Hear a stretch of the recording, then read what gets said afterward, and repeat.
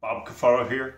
Yesterday, I posted how I'm still excited about getting a signed copy of the complete illustrated book of yoga, signed by the author in 1964, Swami Vishnu Devananda.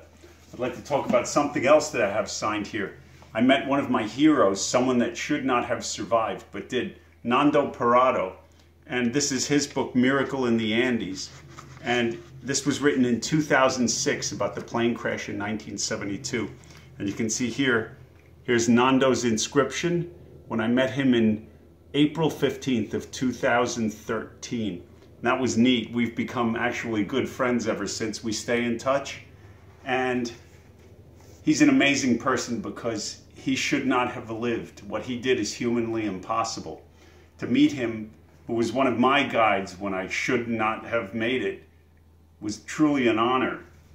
But I want to show you something here. The plane crashed in 1972 and they were stranded on the mountain for 72 days. And all 16 survivors that made it out signed a copy of my book, which was written one year later. And the book is called Alive, written in 1973. And you can see all 16 survivors signed this book.